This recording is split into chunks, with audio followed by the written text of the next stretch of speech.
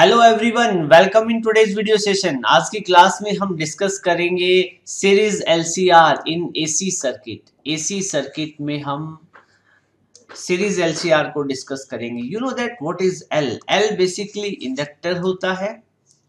Inductance of inductor, C capacitor of a uh, capacitance and R is the resistor of a resistance. हमारे पास ये तीन element है जिनको हमने सीरीज़ में कनेक्ट किया हुआ है। In this way end to end connect किए हैं और इनके साथ में हमने एक बैटरी अटैच कर दी है। और जो बैटरी अटैच की है, उसका E M F alternating in nature right देखो यहाँ पे डायग्राम में आप देख सकते हो अच्छे से, हमारे पास ये जो इंडक्टर है, ये कैपेसिटर है और रजिस्टर तीनों सीरीज़ में कनेक्ट है एंड टू एंड कनेक्ट है और इनके साथ में हमने एक ये जो पर्पल कलर का सर्कल में जो मैंने वेव लाइक ये दिखाया हुआ है, ये क्या अल्टरनेटिंग सोर्स ऑफ़ ईएमएफ और ये सर्किट को जो ईएमएफ प्रोवाइड करवा रहा है, वो अल्टरनेटिंग इन नेचर है like E is equal to E naught sine omega T alternating EMF तो आप पहले पढ़ चुके हो ना अल्टरनेटिंग ईएमएफ क्या होता है राइट right? तो जो टाइम के साथ में कंटिन्यूसली वेरी करे, ठीक है? और ये अल्टरनेटिंग ईएमएफ क्या करता है? इस सर्किट को करंट प्रोवाइड कर रहा है। ऐसे सर्किट में इसके कारण क्या फ्लो कर रहा है? करंट फ्लो कर रहा है। करंट भी कैसा है? अल्टरनेटिंग करंट है। राइट और ये अल्टरनेटिंग करंट तीनों में से पास कर रहा है सेम करंट पास कर रहा है। ठीक है?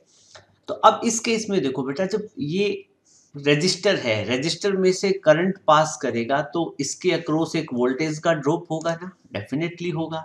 और वोल्टेज का ड्रॉप कितना होगा? V subscript R V R resistor के अक्रॉस जो वोल्टेज का जो ड्रॉप बनेगा, वो कितना बनेगा बेटा? वी आर मैं यहाँ पे मेंशन कर देता हूँ V R is the voltage drop across resistor और वी आर की वैल्यू क्या रहने वाली you know quite well V R क्या होगा? आई इंटू आर आई क्या है जो सर्किट में से करंट पास कर रहा है? ठीक है? और वी आर क्या रिप्रेजेंट कर रहा है? वोल्टेज ड्रॉप अक्रॉस रजिस्टर ठीक है? सिमिलरली जो कैपेसिटर है कैपेसिटर का कैपेसिटर के अक्रॉस भी तो वोल्टेज का ड्रॉप बनेगा तो कैपेसिटर के अक्रॉस जब आप वोल्टेज का ड्रॉप निकालोगे तो वो कितना रहेगा? That will be V subscript C V C क्या है? वोल्टेज ड्रॉप अक्रॉस कैपेसिटर ठीक है? अब आप कहोगे, सर रजिस्टर के अक्रॉस तो हमने आई इंटू आर करके निकाला तो कैपेसिटर में वो रेजिस्टेंस का काम कौन करेगा? कैपेसिटर में करेगा कैपेसिटिव रिएक्टेंस, जिसको एक्स सब्सक्रिप्ट सी लिखते थे। तो I into F X subscript C अभी लेटर ऑन डिस्कस करेंगे डिटेल में हम, ठीक है? तो कैपेसिटर के अक्रॉस भी वोल्टेज का ड्रॉप होगा, क्योंकि सीरीज़ में आपको पता है सभी के अक्रॉस अलग अलग वोल्टेज का ड्रॉप होगा। फिर बारी आती है इंडक्टर की तो इंडक्टर के अक्रॉस भी वोल्टेज का ड्रॉप होगा, ठीक है? तो इंडक्टर के अक्रॉस कितना होगा? इंडक्टर को वोल्टेज V और इंडक्टर को हम दिखाते हैं सब एल से तो इंडक्टर के क्रॉस वोल्टेज का ड्रॉप कितना होगा वी ठीक है बेटा? तो इन तीनों एलिमेंट के अक्रॉस वोल्टेज का ड्रॉप होगा सर्किट में करंट पास कितना करेगा? आई करंट पास करेगा, जिसको हम बता सकते हैं कि I is equal to I naught sine omega T alternating current है। और ये अल्टरनेटिंग ईएमएफ से प्रोड्यूस हुआ है। ठीक है? चलो। अब बेटा सुनो मेरी बात एक ध्यान से। मैं सबसे पहले बात करूँ कि maximum voltage drop across conductor capacitor capacitor के अक्रॉस वोल्टेज ड्रॉप कितना हुआ, इसको मैं रिप्रेजेंट करता हूँ वी सब्सक्रिप्ट सी से। तो V को हम क्या लिखते हैं? I इंटू आर से तो हमने करंट लिखा कितना? आई ठीक है? करंट कितना? आई और ये मैक्सिमम वोल्टेज ड्रॉप है तो करंट भी सर्किट में क्या होगा? मैक्सिमम ठीक है? और इसका जो रे, रेजिस्टेंस का काम कौन करेगा? कैपेसिटर के केस में ये करेगा एक्स सी एक्स सी आपको पता है ये क्या होता है? कैपेसिटिव रिएक्टेंस एक्स सी क्या होता है? कैपेसिटिव रिएक्टेंस कैपेसिटिव रिएक्टेंस या पहले प्रीवियस क्लासेस में पढ़ चुके हैं। ठीक है? Similarly voltage drop across resistor आपको निकालना हो तो वो कितना होगा? वी आर वी आर को कैसे दिखा सकते हैं? आपको पता है आई इंटू आर होता है। तो करंट सर्किट में मैक्सिमम करंट कितना आई नोट और रजिस्टर कितना है? रेजिस्टेंस कितना है सर्किट का? रजिस्टर का? आर कैपिटल आर सिमिलरली हमें फाइंड आउट करना है कि वोल्टेज ड्रॉप अक्रॉस हमें फाइंड आउट करना है वोल्टेज ड्रॉप अक्रॉस इंडक्टर तो वो कितना होगा? V सब्सक्रिप्ट एल कैसे निकालेंगे? I naught maximum voltage drop inductor के क्रॉस आई इंटू रेजिस्टेंस कितना होगा इंडक्टर का? उसको हम लिखते हैं एक्सेल से। और एक्सेल यहाँ पे क्या चीज़ हो जाता है? इंडक्टिव रिएक्टेंस इंडक्टिव रिएक्टेंस ये एक तरीके से एक्सी और एक्सेल क्या है? इनकी रेजिस्टेंसीज है। कैपेसिटर और इंडक्टर की, ठीक है? और आर आप पढ़ ही चुके हो। आर तो आर क्या होता है? आर रेजिस्टेंस होता है। R is the resistance hopefully basic सा इंट्रोडक्शन एलसीआर सर्किट का हो चुका है। आपको पता चल चुका है क्या क्या चीज़ रहने वाली है। देखो maximum voltage drop across capacitor कितनी कैसे बताओगे? वीसी आई नोट एक्सी से, ठीक है? फिर इसके बाद में आपसे maximum voltage drop across inductor पूछा जाए तो वी एल क्या होगा? आई नोट एक्सएल से। ठीक है? और फिर हमारे पास रहता है maximum voltage drop across resistor तो वी आर को कैसे लिखोगे? आई नोट आर राइट तो ये तो हमने दिखा दिया है बेसिक साइन का एक क्या, कितना कितना वोल्टेज ड्रॉप होगा, किसके क्रॉस एल के सी के और आर के क्रॉस ठीक है? अब हमारा टारगेट कुछ अलग है, ठीक है? हम अपने टारगेट की तरफ़ बढ़ेंगे। तो सबसे पहले, चलो हम रजिस्टर की बात करते हैं। रजिस्टर की जब बात करेंगे तो उस केस में आपने क्या देखा था कि जो ईएमएफ e होता है, क्या चीज़ होता है? ईएमएफ e होता है और करंट होता है, दोनों सेम फ़ेज़ में होते हैं। ईएमएफ e और करंट क्या होते हैं बेटा? सेम फ़ेज़ में, ठीक है? या आप इसको ऐसे भी लिख सकते हैं, ठीक है? आप रजिस्टर के केस में जो ईएमएफ होता है ईएमएफ या इसको यूँ लिख दें हम वोल्टेज अक्रॉस रजिस्टर पे ईएमएफ होता तो वोल्टेज ही है। अल्टरनेटिंग वोल्टेज कह दो, अल्टरनेटिंग ईएमएफ कह दो बोथ आर सेम थिंग तो आप इसको ईएमएफ कह दो या वोल्टेज कह दो रजिस्टर और रजिस्टर की बात करें, अब हम स्पेसिफिकली सिर्फ़ रजिस्टर की बात कर रहे हैं। तो रजिस्टर के केस में ईएमएफ और जो करंट होता है, वो दोनों सेम फ़ेज़ में होते हैं। ईएमएफ और करंट क्या होते हैं?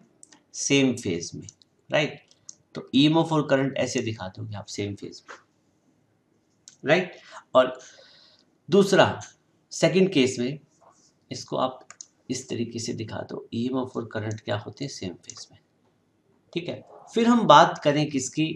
कैपेसिटर की केस की। तो कैपेसिटर के केस में हमने क्या देखा था? करंट लीड करता है और वोल्टेज लैग करती है पाई बाई टू के एंगल से। ठीक है? तो मैं यहाँ पे क्या करूँगा? करंट मैं यहाँ पे दिखा देता हूँ। करंट जैसे एक्स और वाई एक्सिस ये फ़ेज़ डिफरेंस दिखाने यहाँ फेजर डायग्राम बना रहा हूँ मैं। ये जो ड्रॉ कर रहा हूँ, ये सारे के सारे फेजर डायग्राम है। ओके तो इसके केस में क्या रहेगा? कैपेसिटर के केस में आप ये देखो कि ये मैं, मैंने यहाँ पे दिखा दिया करंट सपोज़ करो, ये मैंने दिखा दिया करंट तो वोल्टेज दिखाऊँगा वोल्टेज कैसे दिखाऊँगा? देखो करंट लीड करेगा तो वोल्टेज आपको पीछे दिखानी पड़ेगी ना तो वोल्टेज मैं यहाँ पे दिखा देता हूँ, या ईएमएफ मतलब ईएमएफ लैग करती है तो यहाँ इधर क्या हो जाएगा? ईएमएफ या मैं इसको लिख देता हूँ voltage across capacitor both are same thing ठीक है? फिर सिमिलरली नेक्स्ट हम बात करें इंडक्टर के केस। अब आप कोई कहे, किसी के माइंड में आता है, सर, यहाँ पे आप करंट दिखा सकते हैं, बिल्कुल दिखा सकते हैं तो आपको ई एफ़ यहाँ दिखाना पड़ता है, क्योंकि आपको फ़ेज़ डिफरेंस कितना रखना था, पाई बाई टू का। ठीक है? आपको कैपेसिटर के केस में करंट को पाई बाई टू एंगल से लीड करवाना है तो यहाँ देखो करंट लीड कर रहा है ई से पाई बाई टू के एंगल पे। यहाँ दोनों सेम फ़ेज़ में थे, रजिस्टर के केस में। चलो, अब हम आते हैं बेटा इंडक्टर पे। तो इंडक्टर के केस में क्या होता है? आपको पता है ईएमएफ ईएमएफ लीड करेगी और करंट पीछे रह जाएगा राइट तो इंडक्टर के केस में बात करें तो इंडक्टर के केस में जो ईएमएफ होता है, वो आगे चलता है। ईएमएफ कह दो या इसको वोल्टेज ड्रॉप अक्रॉस इंडक्टर कह दो। और ये करंट से आगे चलता है करंट पीछे रह जाता है इस सिचुएशन में राइट और ये यहाँ पे क्या चीज़ है करंट देखो, कितना का फ़ेज़ डिफरेंस आता है? नाइन्टी का एंगल कितना है? नाइन्टी का। तो होपफुली आपको ये चीज़ समझ में आ चुकी होगी। ये फेजर डायग्राम थी। ये मैंने यहाँ पे जो ड्रॉ किए हैं, ये फेजर डायग्राम है सभी सिचुएशंस के लिए, ठीक है? कि रजिस्टर के केस में क्या रहेगा कैपेसिटर के केस में क्या रहेगा इंडक्टर के केस में क्या रहेगा, ठीक है? और यहाँ कितना कितना वोल्टेज का ड्रॉप होगा कैपेसिटर इंडक्टर और रजिस्टर के क्रॉस जब सीरीज़ में कनेक्ट करेंगे, वो हमने यहाँ पे फाइंड कर लिया है। ठीक है? अब हम एक कंबाइंड फेजर डायग्राम बनाने जा रहे हैं। ठीक है? तो कंबाइंड फेजर डायग्राम बनाएँगे तो यहाँ पे मेरे पास एक्स एक्सिस है और ये वाई एक्सिस है। ठीक है? तो सबसे पहले मैं क्या ड्रॉ करूँगा? मैं करंट ड्रॉ कर दूँगा सर्किट में। ठीक है? मैंने क्या किया? सर्किट में करंट ड्रॉ कर दिया। इन दिस वे जैसे मैंने यहाँ पे ये करंट ड्रॉ कर दिया पर्पल कलर की लाइन बना रहा हूँ, ये करंट को डिपिक्ट कर रही है, ठीक है? ये करंट ठीक है? और ये करंट का फेजर बना दिया बेटा मैंने, ठीक है? और करंट को दिखा रहा हूँ मैं आई नोट से करंट को आई नोट से दिखा रहा हूँ, ठीक है? अब इसी एक डायग्राम में ये जो एक्स वाई एक्सिस बनाई है, इसी में हमें इंडक्टर को, कैपेसिटर को, रेजिस्टर को, इन तीनों का वोल्टेज के साथ में क्या फ़ेज़ डिफरेंस रहेगा, वो शो करना है राइट तो वो देखना कैसे करेंगे। तो भाई करंट मैंने दिखा दिया ओ एक्स एक्सिस के अलोंग यहाँ पे मैंने करंट दिखा दिया ओ एक्स एक्सिस के अलोंग ठीक है? अब मेरे को दिखाना हो इंडक्टर का केस किसका केस दिखाना हो? सबसे पहले हम बात करेंगे किसकी? इंडक्टर की। इंडक्टर की। तो इंडक्टर का केस हमें दिखाना हो तो इंडक्टर के केस में आप बताओ, करंट पीछे रहता है और वोल्टेज आगे निकल जाती है ना, या ईएमएफ आगे निकल जाती है, ठीक है? तो मैं, करंट मैंने एक यहाँ दिखाया इस एक्सिस पे तो मेरे को वोल्टेज दिखाने के लिए मैं यहाँ तो दिखा नहीं सकता, यहाँ तो दिखा नहीं सकता, क्योंकि तो पीछे हो जाएगा वोल्टेज, यहाँ दिखाऊँगा तो। वोल्टेज आगे दिखाने के लिए मेरे को कहाँ दिखाना पड़ेगा? वाई एक्सिस पे, ऊपर 90 के फ़ेज़ डिफरेंस से, वो ठीक रहेगा। ठीक है? तो करंट आपने एक्स एक्सिस पे दिखाया ओ एक्स एक्सिस के अलोंग तो आपको वोल्टेज दिखाना पड़ेगा ओ वाई के अलोंग ठीक है? तो और ये वोल्टेज किसकी? इंडक्टर की है। किसकी है बेटा? वोल्टेज इंडक्टर की है। तो मैंने इंडक्टर के अक्रॉस यहाँ पे ये वोल्टेज दिखा दी है। ठीक है? ये वोल्टेज अक्रॉस इंडक्टर आ चुकी है। This is V L this is V subscript L ठीक है? और इनके साथ में ना बेटा वेक्टर लगा दो, क्योंकि ये सारे के सारे फेजर है। क्या चीज़ है? फेजर है। तो इस, इनके सभी के साथ में इसके ऊपर वेक्टर लगा दो, ठीक है? यहाँ वेक्टर लगा दो, यहाँ वेक्टर लगा दो, ठीक है? ये फेजर है राइट और यहाँ करंट को भी फेजर डायग्राम से फेजर एक वेक्टर होता है रोटेटिंग वेक्टर होता है, ठीक है? तो इनके ऊपर आप वेक्टर लगा दो। अब एक बात बताओ, यहाँ करंट इस डायरेक्शन में आया है आई नोट और वोल्टेज ड्रॉप अक्रॉस इंडक्टर ऊपर की तरफ़ आपने दिखा दिया। ये केस किसका बना? इंडक्टर का। देखो इंडक्टर ये केस किसका बना? इंडक्टर का। अब इसी के केस में मेरे को क्या दिखाना है? कैपेसिटर कैपेसिटर तो कैपेसिटर दिखाने के लिए क्या बनेगा? कैपेसिटर के अक्रॉस जो वोल्टेज ड्रॉप दिखाऊँगा, वो कहाँ दिखाऊँगा बेटा? आपको पता है कैपेसिटर के केस में करंट लीड करता है वोल्टेज से। तो एक बात बताओ, मैं यहाँ पे वोल्टेज ड्रॉप अक्रॉस कैपेसिटर दिखा दूँ, ठीक है? वोल्टेज ड्रॉप अक्रॉस कैपेसिटर इधर दिखा दूँ, नीचे की तरफ़ तो ये सिचुएशन सही बन गई ना? क्यों? क्योंकि वो अब आपको पता है, आपको पता है कि वोल्टेज कैपेसिटर के केस में करंट लीड करता है, वोल्टेज पीछे रह जाती है, नाइन्टी के एंगल से। तो ये सही बन गया, कोई दिक्कत वाली बात नहीं है। फिर ये तो हमने कवर कर दिया कैपेसिटर को। अब इसके बाद में आते हैं रजिस्टर पे। रजिस्टर के केस में आपको पता है वोल्टेज और करंट दोनों सेम फ़ेज़ में होते हैं। तो करंट इस डायरेक्शन में है तो मेरे को वोल्टेज भी इसी डायरेक्शन में दिखानी पड़ेगी। राइट तो इस सिचुएशन में मैं क्या करूँगा, मेरे को रजिस्टर का केस दिखाना है। तो इसके लिए हम क्या करेंगे बेटा? हमें जो रजिस्टर है रजिस्टर का इसी तरीके से दिखाना पड़ेगा। रजिस्टर क्या दिखाना पड़ेगा?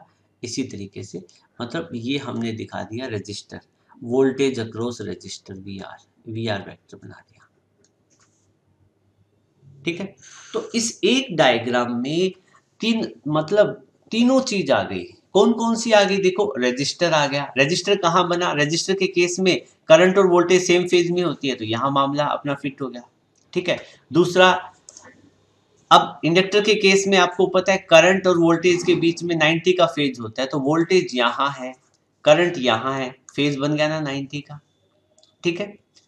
फिर उसके बाद में कैपेसिटर के केस में आपने देखा था, कैपेसिटर के केस में क्या होता है, जो वोल्टेज होता है, वो करंट कैपेसिटर के केस में करंट लीड करता है, वोल्टेज पीछे रह जाता है, फाइव बाई टू के एंगल से। मतलब एलसीआर का जो सीरीज़ कॉम्बिनेशन है, आपने जस्ट एक फेजर डायग्राम से दिखा दिया है। Right right? लेकिन अब मैं इन सब चीज़ों को रब कर रहा हूँ बारी बारी क्योंकि इस डायग्राम की हमें काफ़ी ज़रूरत पड़ने वाली है। ठीक है? यहाँ पे आपने, हमने एक जो कंडीशन ली है, वो आप ध्यान से देखना बेटा। हमने कंडीशन ली है इफ़ ये जो डायग्राम बनाया है ना, इसमें देखो, यहाँ पे वीएल का फेजर मैंने बड़ा दिखाया है और वीसी का छोटा दिखाया है। You are getting my point मतलब हमने ये कंडीशन ली है कि voltage drop voltage drop across inductor क्या है? ग्रेटर है। किसके? वोल्टेज ड्रॉप अक्रॉस कैपेसिटर के। ठीक है? आप ऐसा भी ले सकते थे कि वीसी को बड़ा दिखा सकते थे और वीएल को छोटा दिखा सकते थे। ठीक है? लेकिन बाय डिफ़ॉल्ट हमने क्या कंडीशन ली है? ये बड़ा इंपॉर्टेंट पॉइंट है। ठीक है? बाय डिफ़ॉल्ट हमने कंडीशन क्या ली है? कि वीसी क्या है? बड़ा है। वीएल बड़ा है as compare to V C मतलब voltage drop across inductor inductor के अक्रॉस ज़्यादा वोल्टेज का ड्रॉप है एज कंपेयर टू कैपेसिटर ठीक है? तो अब हम इसी केस को लेके आगे डिस्कस करेंगे। बेटा, अब इसके बाद में देखो, आपको पता है वीएल ऊपर की तरफ़ है। वीएल ज़्यादा बड़ी क्वांटिटी है और वीसी छोटी है। ठीक है? तो अब एक बात सुनो ध्यान से। अब कोई भी एक वेक्टर क्वांटिटी होती है, उसके नेट इम्पैक्ट को हम देखते हैं। जैसे सपोज़ करो, एक फोर्स ऊपर की तरफ़ लग रही है ट्वेंटी न्यूटन नीचे की तरफ़ लग रही है फाइव न्यूटन ठीक है? तो मैं आपसे पूछूँ कि नेट फोर्स कहाँ बनेगी इन दोनों के इम्पैक्ट से? तो नेट फोर्स कितनी बनेगी? ऊपर की तरफ़ बनेगी ना। कितनी बनेगी? Fifteen minus twenty minus five कितनी आ गई? Fifteen newton you getting my point मतलब जिस डायरेक्शन में ज़्यादा बड़ी फोर्स हो नेट रिजल्टेंट फोर्स उसी डायरेक्शन में मिलेगी ये हम पढ़ चुके हैं, ठीक है? तो सिमिलरली हमारे पास एक ऐसी सिचुएशन आ गई है, उसमें क्या कह रहा है? कह रहा है कि वीएल बड़ा है, ये वीएल ये जो ऊपर की तरफ़ आप देख रहे हो, ये इंडक्टेंस के अक्रॉस ड्रॉप ज़्यादा है, बड़ा है, और कैपेसिटर के अक्रॉस छोटा है। ठीक है? हम इसको फेजर डायग्राम की टर्म में स्टडी कर रहे हैं, ठीक है? वैसे तो आपको पता है पोटेंशियल स्केलर क्वांटिटी होती है, लेकिन इसका नेट इम्पैक्ट दिखाने के लिए फेजर की टर्म में नेट इम्पैक्ट कहाँ आएगा? वीएल बड़ा है। क्या चीज़ है? वीएल बड़ा है और वीसी क्या है? छोटा है। नेट इम्पैक्ट ऊपर की तरफ़ बनेगा राइट तो मैं यहाँ पे लिख सकता हूँ। So net inductive reactance net reactance net so net reactive voltage ये रिएक्टिव वोल्टेज हम इसको बोलते हैं बेटा, ठीक है? Net reactive voltage net reactive voltage कितनी बनेगी? बताओ कितनी बनेगी? नेट रिएक्टिव वोल्टेज आपको निकालने के लिए आपको क्या करना पड़ेगा? आपको सब्ट्रैक्ट करना पड़ेगा वीएल में से V L minus V C ये आपकी नेट रिएक्टिव वोल्टेज बन जाएगी। This will be the net voltage net voltage बन गई ना बेटा? ठीक है। और ये नेट वोल्टेज कहाँ बनेगी? किस डायरेक्शन में बनेगी? ये बनेगी ऊपर की तरफ़। ठीक है। ये नेट रिएक्टिव वोल्टेज अपनी बन चुकी है। और नेट रिएक्टिव वोल्टेज का फेजर से मैं, फेजर से दिखाना चाहूँ तो नेट इम्पैक्ट ऊपर की तरफ़ आएगा। ठीक है। यहाँ बनेगा नेट इस तरीके से। ठीक है। और ये छोटा ही बनेगा, क्यों? क्योंकि VL ऊपर की तरफ़ बड़ा है वीसी नीचे की तरफ़ छोटा है तो नेट ऊपर की तरफ़ आएगा, लेकिन वीएल से तो छोटा ही रहेगा ना। तो ये नेट इम्पैक्ट इनका कितना आएगा? V L minus V C right ये V L minus V C आ गया, ठीक है? और आपको पता है वोल्टेज अक्रॉस रजिस्टर कितनी है? ये है, ठीक है? अब इस केस में बेटा मैं आपसे ये कहूँ कि अब हमारे पास सारी जो ईएमएफ e ड्रॉ करने के बाद में फाइनली कौन कौन से ईएमएफ e या वोल्टेज ड्रॉप बचे हैं? एक तो रजिस्टर के क्रॉस बचा ये वाला, और वीएल और वीसी का नेट कॉम्बिनेशन हमने ये निकाल दिया। अब मैं आपसे पूछूँ कि नेट किचन कितना बचा हुआ है तो आपको क्या करना पड़ेगा? आपको ये वी एल माइनस वी और वी आर का रिजल्टेंट निकालना पड़ेगा। क्या निकालना पड़ेगा? रिजल्टेंट यूजिंग पैरेललोग्राम उससे आपको क्या मिल जाएगा? आपको एक रिजल्टेंट वोल्टेज मिल जाएगी। क्या मिल जाएगी? एलसीआर सर्किट की रिजल्टेंट वोल्टेज मिल जाएगी। और आपने ये सारी स्टडी मैक्सिमम वोल्टेज ड्रॉप की कंडीशन पे किया है तो आपको जो वोल्टेज मिलेगी, वो भी क्या मिलेगी? मैक्सिमम मिलेगी। तो यहाँ पे मैं एक बार इन सब चीज़ों को रब कर देता हूँ। ठीक है? अब फाइनली मेरे पास दो क्वांटिटी बची है। एक तो बची है कौन सी? V L minus V C ये वाली, और दूसरी बची है वो ये क्या है volt net voltage net reactive voltage है, जो इंडक्टर और कैपेसिटर के अक्रॉस है। और दूसरी बची है मेरे पास वोल्टेज अक्रॉस रजिस्टर ठीक है? अब मेरे को इन दोनों का रिजल्टेंट निकालना है। ठीक है? तो देखो कैसे हम फाइंड आउट करेंगे। तो इनका रिजल्टेंट कितना आएगा? इनका रिजल्टेंट मैं कहता हूँ, इनका रिजल्टेंट हम किस से शो करें? ठीक है, मैं कहता हूँ इन दोनों का रिजल्टेंट कितना आएगा? रिज़ल्ट देखो, दो वोल्टेज का रिजल्टेंट कितना आएगा? वोल्टेज की टर्म में आएगा ना? और उसको मैं क्या कह देता हूँ कि ये रिजल्टेंट आएगा ई e नोट। ठीक है ना? ये मैक्सिमम रिजल्टेंट ड्रॉप आएगा राइट तो उसके केस में हम क्या, हमें क्या करना पड़ेगा? पैरेललोग्राम कंप्लीट करना पड़ेगा, ठीक है? तो पैरेललोग्राम कंप्लीट करने के लिए एक लाइन ऐसे लगाएँगे और दूसरी ऐसे पैरेललोग्राम आप कंप्लीट कर लोगे बट थोड़ी सी हमने गड़बड़ कर दी है। आपको क्या करना है? ये जो एरो बनाना है, ये ऐसे इतना बनाना पड़ेगा, क्योंकि वी आर तक, यहाँ तक पहुँचे ना, ठीक है? ये आपने एरो बना दिया। तो अब आप पैरेललोग्राम कंप्लीट ये यहाँ से आप क्या कर सकते हो? रिजल्टेंट ईएमएफ आपको मिलेगी, ई नोट जिसको मैं बोल रहा हूँ। ठीक है? अब पैरेललोग्राम कंप्लीट करो आप ऐसे, ठीक है? ये हमने पैरेललोग्राम कंप्लीट कर दिया। राइट अब यहाँ से इस पैरेललोग्राम से मैं रिजल्टेंट वैल्यू निकाल।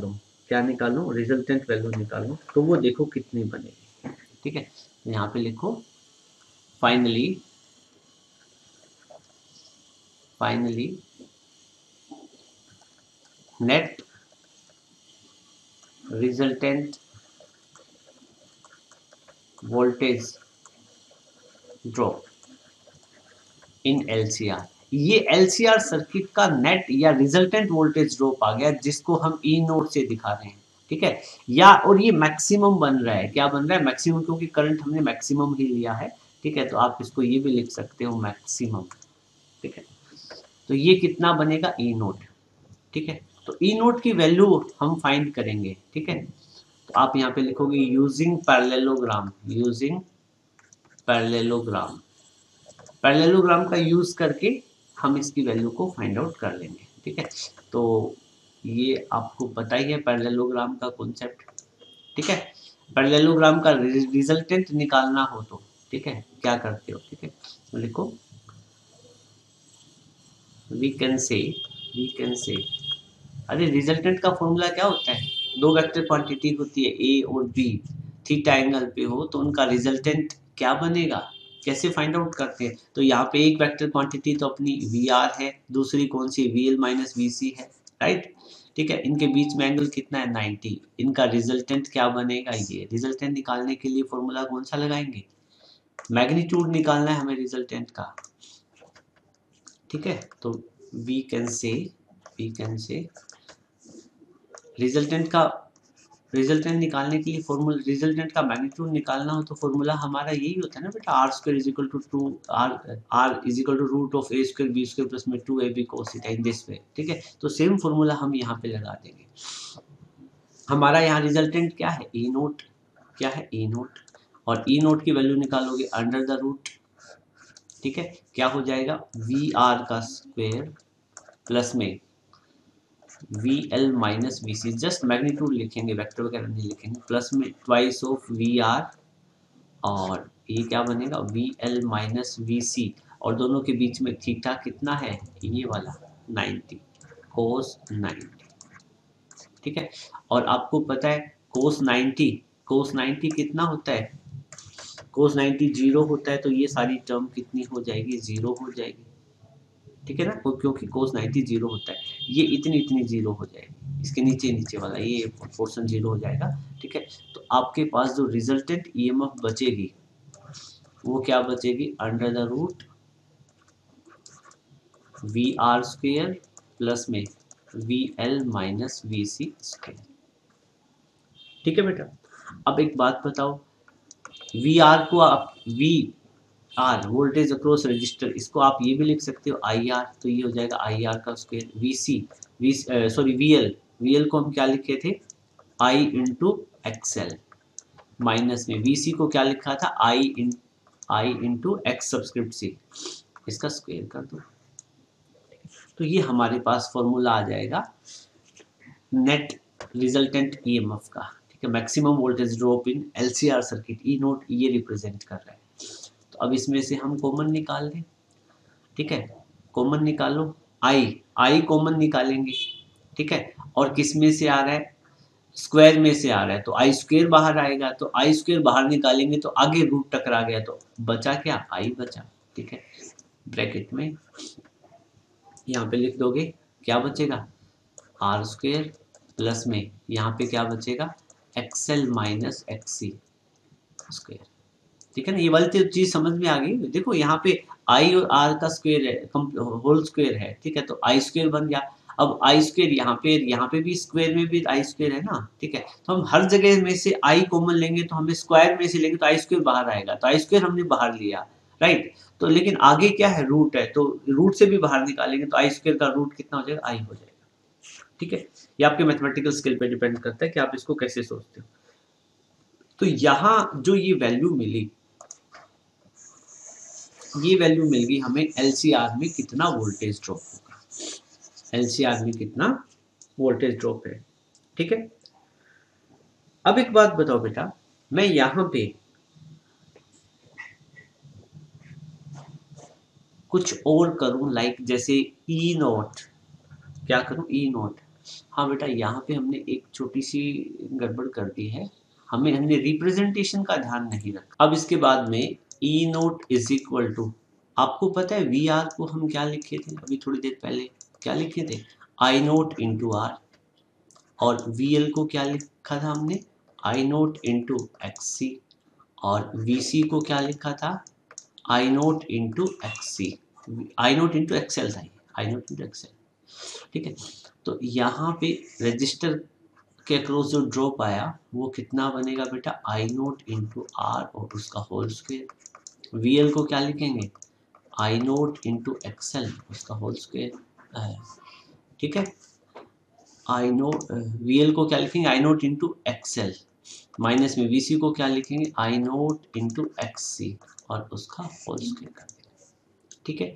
उसके बाद में E naught is equal to यहाँ हम इसको क्या लिख सकते हैं?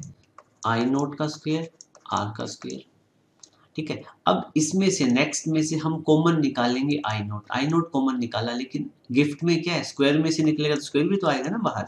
तो क्या बचेगा? X L minus X C उसका होल स्क्वेयर नेक्स्ट स्टेप में हम क्या करेंगे? अब की बार आई नोट स्क्वेयर कॉमन ले लेंगे। यहाँ पे भी है और यहाँ पे भी है। ठीक है?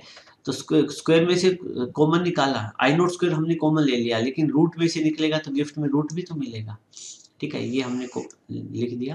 अंदर क्या बचेगा? आई नोट स्क्वायर बाहर निकालने के बाद में आर स्क्वायर प्लस में एक्सएल माइनस एक्स का होल स्क्वायर ठीक है बेटा? अब यहाँ पे आई नोट स्क्वायर से रूट कैंसिल आउट कर सकते हैं, क्योंकि रूट का मतलब क्या होता है? पावर वन बाई टू तो कैंसिल आउट हो जाएगा। तो अल्टीमेटली हमें I naught is equal to कितना मिला? E naught is equal to I naught into R square plus में X L minus X C का होल स्क्वेयर ठीक है बेटा? अब मैं इसको क्या लिख सकता हूँ? यहाँ पे ये देखो ई नोट अपोन में आई नोट ठीक है? ये वोल्टेज अपोन में करंट ठीक है? किसके इक्वल आ गया? आर स्क्वेयर प्लस में एक्सएल माइनस XC का whole square X L minus XC का whole square right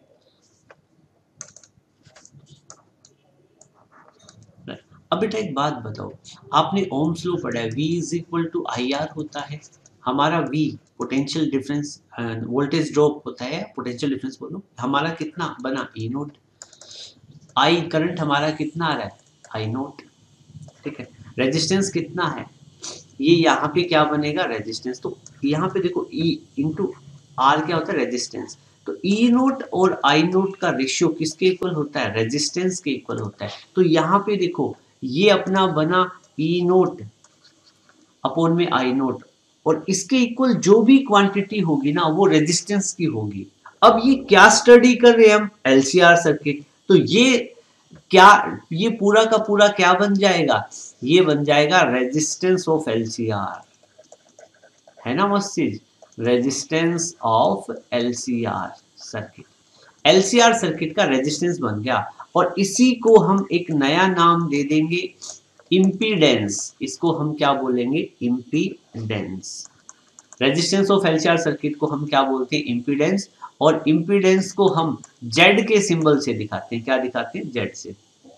Right right? तो एलसीआर सर्किट के केस में हम क्या लिख देंगे? ई नोट अपोन में आई नोट को हम क्या लिख देंगे? जेड ठीक है? और आपका जेड यहाँ पे क्या चीज़ है? इम्पीडेंस है। जिसकी वैल्यू कैसे कैलकुलेट करोगे? आर स्क्वेयर प्लस में X L minus X C का होल स्क्वेयर ठीक है? और ये क्या है? एलसीआर सर्किट का रेजिस्टेंस है। कौन सा? ये जेड इम्पीडेंस को एलसीआर सर्किट का रेजिस्टेंस बोलते हैं, ठीक है? And so this will be our final result for impedance यहाँ हमने इम्पीडेंस फाइंड आउट कर लिया है। अब बेटा हम क्या करेंगे? फ़ेज़ डिफरेंस निकालेंगे। किस किस के बीच में? ईएमएफ और करंट के बीच में, इन एलसीआर सर्किट ठीक है? लिखिए now we will find phase difference. Now we will find phase difference between EMF and current.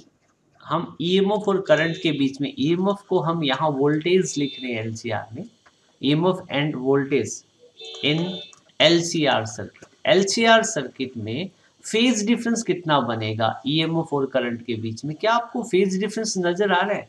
चलो, इसको फील करने के लिए एक बार हम एलसीआर सर्किट पे चलते हैं, ठीक है? और यहाँ से हम क्या कर देते हैं? इस पूरे को कॉपी कर लेते हैं, ठीक है? ये हम यहाँ इस सर्किट को कॉपी कर लेते हैं। यहाँ से अपना काम चल जाएगा। ठीक है? और यहाँ पे हम पेस्ट कर देते हैं, ठीक है? अब बेटा एक बात बताओ, इस केस में आप यहाँ पे देखो फ़ेज़ डिफरेंस अभी तक जो हम निकाल रहे थे, इस बात को ध्यान से देखना, ये हम एक्स और वाई एक्सिस बनाते थे और ये कहते थे कि करंट इसी डायरेक्शन में है और ईएमएफ इसी डायरेक्शन में है तो कोई फ़ेज़ डिफरेंस नहीं है, ठीक है? या फिर हम क्या देखते थे? ये कहते थे कि करंट ऐसे है ईएमएफ ऐसे है। तो उस केस में फ़ेज़ डिफरेंस हो जाता था ईएमएफ ऊपर हो जाती तो फ़ेज़ डिफरेंस हो जाती थी। ईएमएफ को हम यहाँ वोल्टेज से दिखा रहे हैं। क्या दिखा रहे हैं? वोल्टेज से। ठीक है? अब हमने क्या है?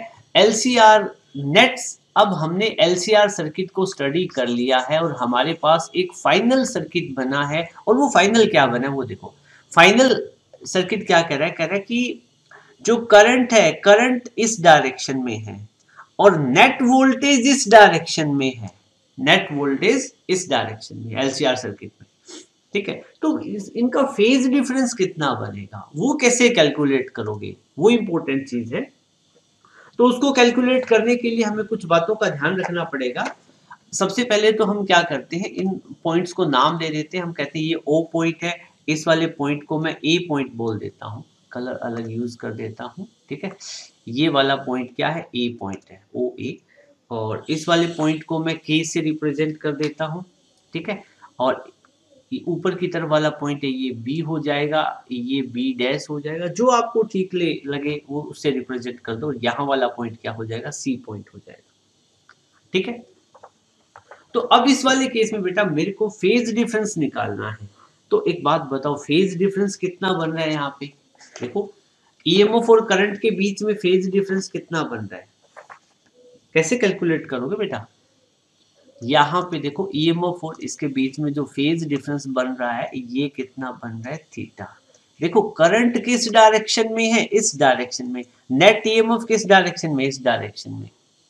You are getting my point तो अब हम क्या करेंगे? यहाँ पे फ़ेज़ डिफरेंस निकालने के लिए हम इस सर्किट में टेन इसको एंगल को थीटा बोलो या फाइव बोलो, ये आप पे डिपेंड करता है। हम इसको फाइव बोल सकते हैं, कोई दिक्कत वाली बात नहीं, हम इसको फाइव बोल देंगे, ठीक है? तो यहाँ पे हम फाइव की वैल्यू निकालने के लिए हम टेन फाइव निकाल लेंगे।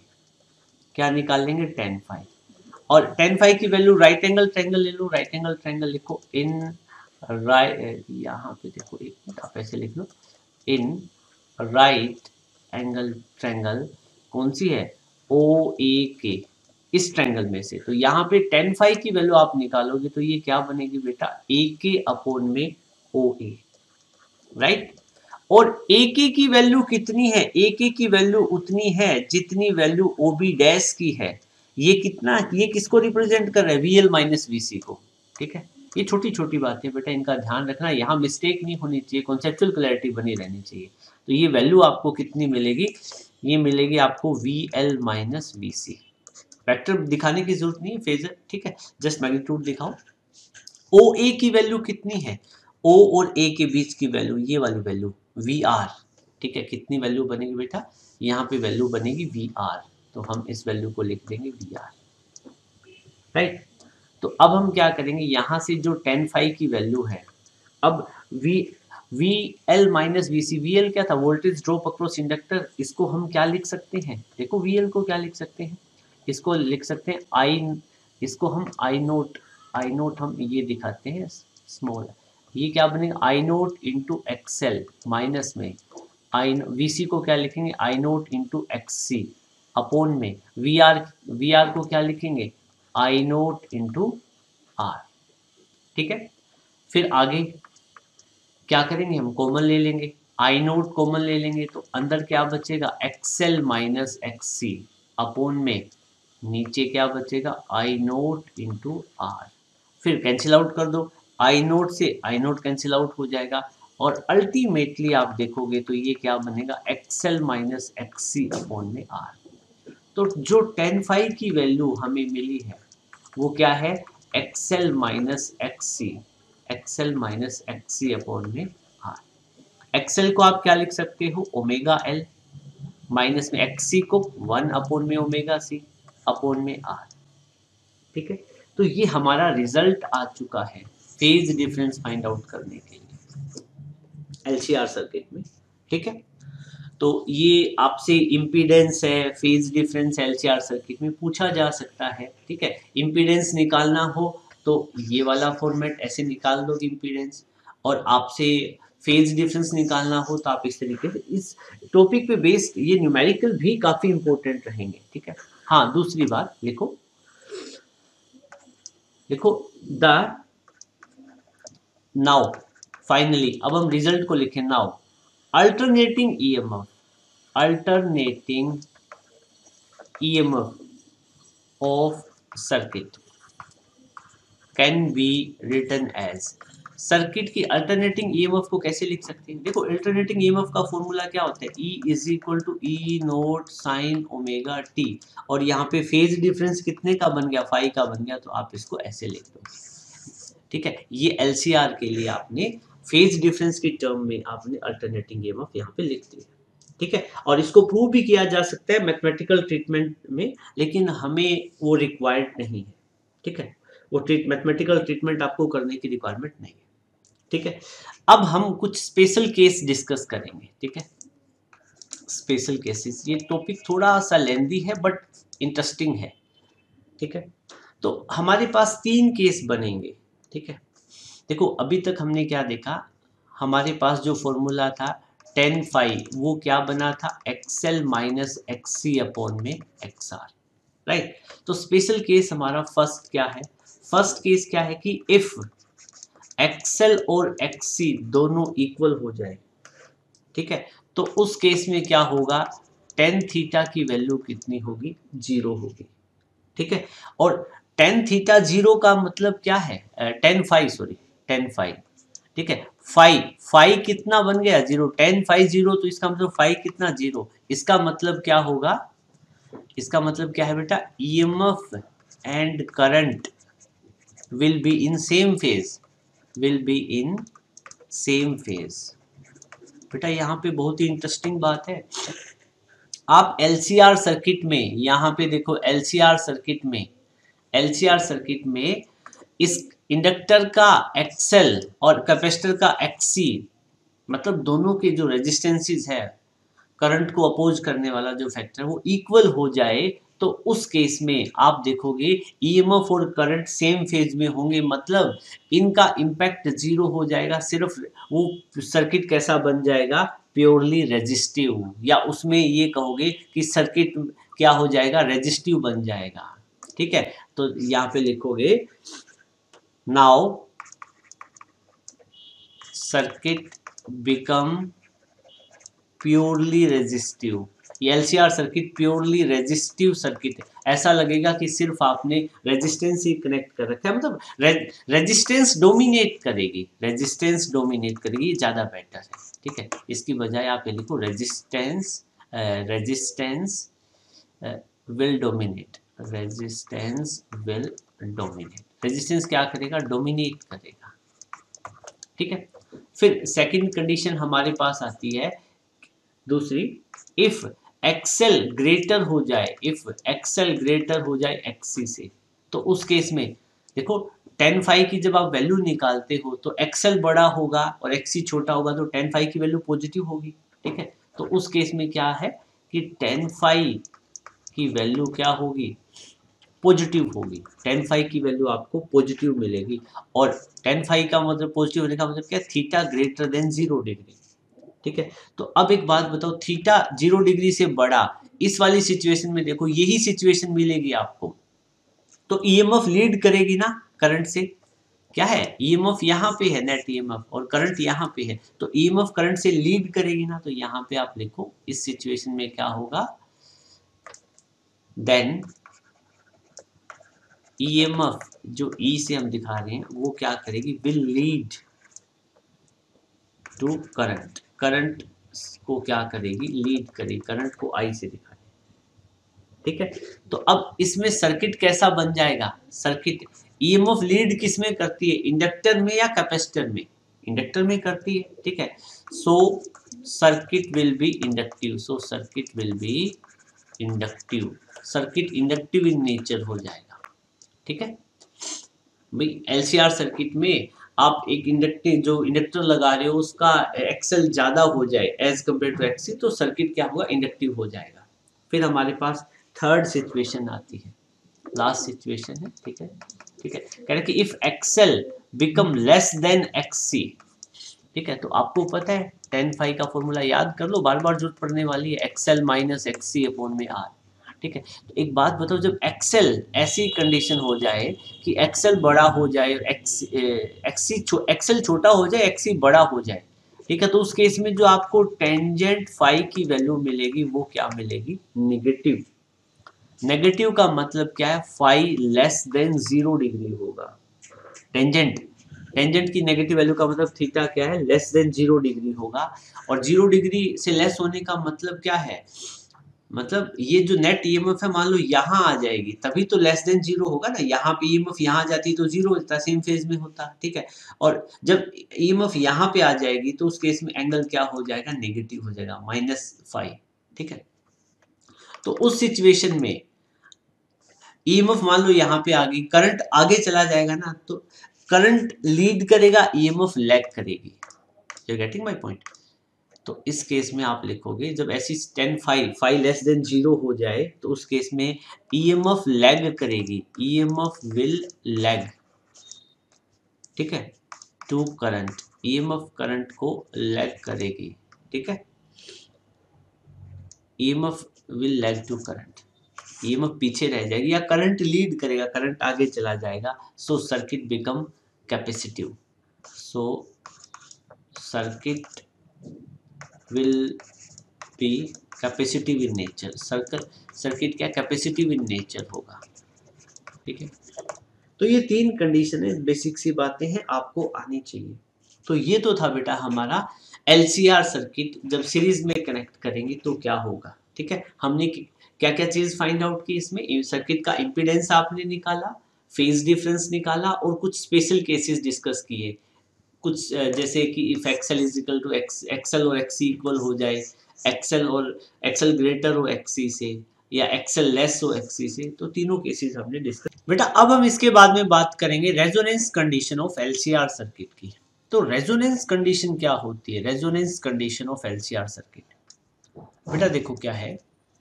अभी तक हमने क्या स्टडी किया, मैं आपसे एक छोटा सा क्वेश्चन पूछता हूँ कि रेजोनेंस कंडीशन में एलसीआर में एलसीआर में करंट फ्लो कितना करता है? आप क्या बता सकते हो?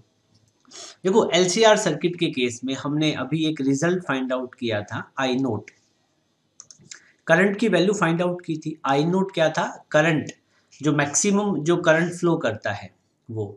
और उस करंट को हमने एक एक्सप्रेशन से निकाला था।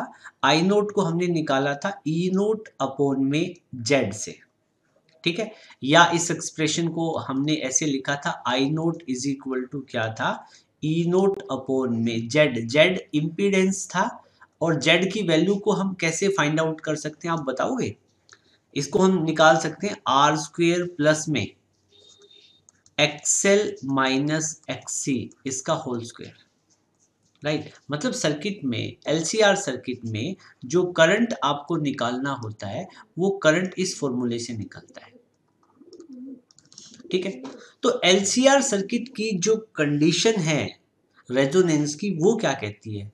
रेजोनेंस की कंडीशन क्या कहती है? कहते हैं कि ये वो कंडीशन होती है जब एलसीआर सर्किट में मैक्सिमम करंट फ्लो करता है।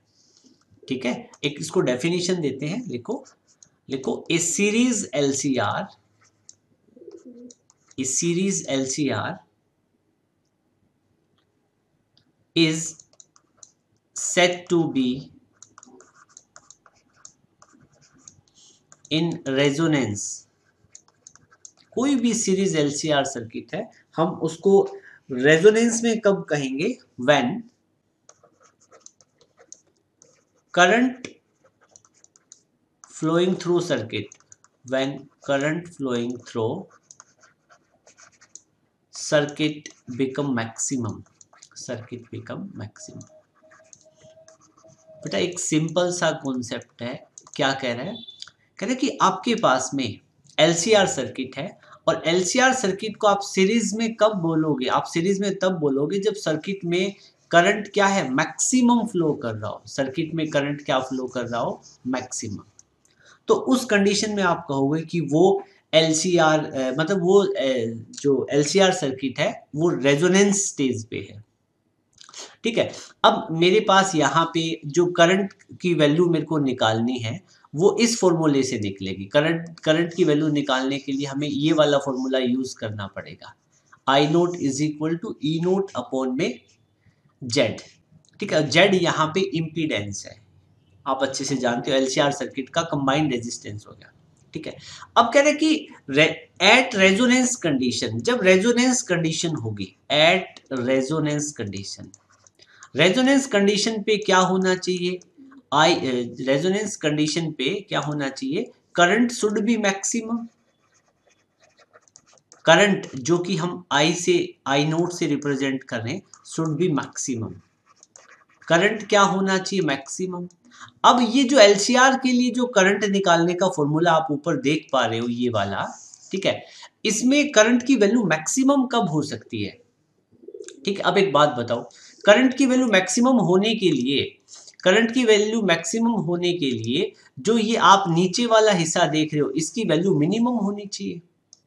भी मतलब जेड की वैल्यू जब मिनिमम होगी, देखो यहाँ से, यहाँ पे आप देखो, यहाँ पे आप देखो कि आपको पता है I naught is equal to क्या होता है? ई नोट अपॉन में जेड राइट तो एक बात बताओ करंट मैक्सिमम कब होगा? जब जेड की वैल्यू मिनिमम होगी, उस केस में जेड की वैल्यू मिनिमम मिनिमम होगी, तब करंट की वैल्यू क्या होगी? मैक्सिमम होगी। गेटिंग माई पॉइंट तो जेड की वैल्यू कैसे मिनिमम हो सकती है? या यू कहिएगा कि आर स्क्वेयर प्लस में X square R square plus में XL minus X C square का का होल स्क्वेयर है, उसकी वैल्यू कैसे मतलब मिनिमम हो, होगी? ठीक है तो इसकी वैल्यू मिनिमम निकालने के लिए कंडीशन है हमारे पास, ठीक है? ये तो बेसिक सी बातें थी जो हम डिस्कस कर रहे थे। बेटा, अब यहाँ पे देखिएगा, हमें क्या पता चल रहा है कि रेजोनेंस कंडीशन में क्या होना चाहिए? जेड की वैल्यू जेड की वैल्यू जब मिनिमम होगा जेड मिनिमम होगा उसी कंडीशन में, उसी कंडीशन में करंट क्या होगा? मैक्सिमम ठीक है? और आपको पता है जेड की वैल्यू हमारे पास है कितनी? जेड की वैल्यू है हमारे पास आर स्क्वेयर प्लस में एक्सएल माइनस एक्सी उसका होल स्क्वेयर तो बेटा जेड की वैल्यू इसकी वैल्यू मिनिमम करने के लिए क्या हम ज़ीरो कर सकते ज़ीरो तो नहीं कर सकते, लेकिन यहाँ कुछ हालात बन रहे हैं। कि जेड की वैल्यू यहाँ मिनिमम हो जाए। ठीक है? मिनिमम कब हो सकती है ये? जेड की वैल्यू मिनिमम कब हो सकती है? इफ़ एक्सेल और एक्सी दोनों इक्वल हो जाए। तो देखो, जब ये कंडीशन हो जाएगी तो देन जेड की वैल्यू कितनी बनेगी? Under root R square plus में एक्सेल माइनस एक्सी ये दोनों इक्वल हो जाए तो एक्सेल माइनस एक्सी को भी आप एक्सेल पुट कर सकते हैं ना? स्क्वेयर तो यहाँ पे वैल्यू आपको मिलेगी जेड की आर स्क्वेयर प्लस में ज़ीरो स्क्वेयर तो Z is equal to Z is equal to R R square का रूट करोगे तो स्क्वेयर हट जाएगा, ठीक है? अब ये जेड यहाँ पे मिनिमम है, यहाँ पे जेड क्या हो चुका है? मिनिमम और ये कब पॉसिबल हुआ? जब एक्सेल और एक्सी इक्वल हो गए, जब एक्सेल और एक्सी इक्वल हो गए तो बेटा यहाँ पे साफ़ सी एक बात समझ में आती है कहते हैं कि जेड की वैल्यू मिनिमम कब होगी? जेड की वैल्यू मिनिमम कब होगी? जब एक्सेल और एक्सी इक्वल हो जाए। और आपको पता है, जब जेड मिनिमम होगा जेड मिनिमम होगा तो करंट क्या हो जाएगा? मिक्स मैक्सिमम जेड मिनिमम होगा तो करंट क्या बन जाएगा? Maximum you getting my point तो इस वाली कंडीशन में, देखो, यहाँ पे आपने क्या चीज़ देखी? कि जब एक्सएल और एक्सी इक्वल होते हैं तो सर्किट में जेड क्या हो जाता है? मिनिमम हो जाता है। और देन जो करंट है आई नोट जिसकी वैल्यू आप ई नोट अपॉन में जेड से निकाल रहे थे तो देन करंट बिकम मैक्सिमम अब आई नोट क्या बन जाएगा? मैक्सिमम तो एलसीआर सर्किट में, देखो एक चीज़ हमारे सामने आती है नोट करके लिखो। In LCR in LCR LCR circuit में जब एक्सेल और एक्सी इक्वल हो जाए, ठीक है? तो उस केस में हम उसको कहते हैं this is the condition of resonance this is condition of resonance इसी को बोलते हैं रेजोनेंस की कंडीशन ठीक है? और क्या होगा? इसके रिज़ल्ट क्या होंगे? Maximum current will flow in the circuit maximum current will flow in circuit और सर्किट में क्या आएगा? मैक्सिमम करंट आएगा। ठीक है? और इसी कंडीशन को, ये जो कंडीशन है, इसी को हम नाम देते हैं किसका? रेजोनेंस का। तो रेजोनेंस वो कंडीशन हो जाती है जिस, जब एलसीआर सर्किट में एक्सएल और एक्सी इक्वल हो जाए, इसी को नाम देंगे हम रेजोनेंस की कंडीशन और इस रेजोनेंस की कंडीशन में सर्किट में जो करंट फ्लो करेगा वो मैक्सिमम होगा। होपफुली ये चीज़ आपको अच्छे से समझ में आ गई होगी, ठीक है? तो यहाँ से हमारे पास एक और चीज़ सामने आती है, ठीक है ना? तो यहाँ पे लिखोगे आप कंडीशन ऑफ़ रेजोनेंस आपको पता चल चुकी है कंडीशन ऑफ़ रेजोनेंस क्या हो रहेगी? कंडीशन ऑफ़ रेजोनेंस क्या कहती है? ये कहता है कि जब एक्सेल और एक्सी इक्वल हो जाए यही क्या चीज़ है? रेजोनेंस की कंडीशन है। एक्सेल को आप लिख सकते हो ओमेगा एल एक्सी को लिख सकते हो, वन अपॉन में ओमेगा सी क्रॉस मल्टीप्लाई करोगे तो ये क्या बन जाएगा? Omega L into omega C is equal to one omega square L C is equal to one omega square is equal to one upon में एल सी यहाँ से आप ओमेगा की वैल्यू निकालोगे तो वन अपॉन में एल सी का root ठीक है? तो यहाँ omega is equal to one का रूट वन और एल सी ठीक है? तो ये फॉर्मूला किसका आ गया?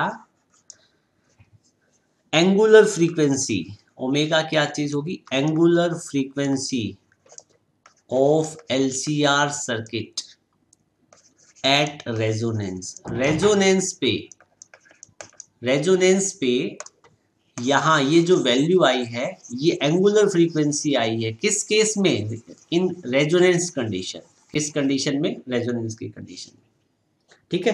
होपफुली ये तो आपको अच्छे से समझ में आ गई होगी। और इसको हम एक और नाम भी देते हैं एंगुलर फ्रीक्वेंसी कह देते हैं। Sometime it is also known as natural frequency of L natural frequency natural frequency है या इसको एक और नाम क्या बोलते हैं? रेजोनेंट फ्रीक्वेंसी रेजोनेंस की कंडीशन है तो इसको रेजोनेंट फ्रीक्वेंसी भी बोलते हैं।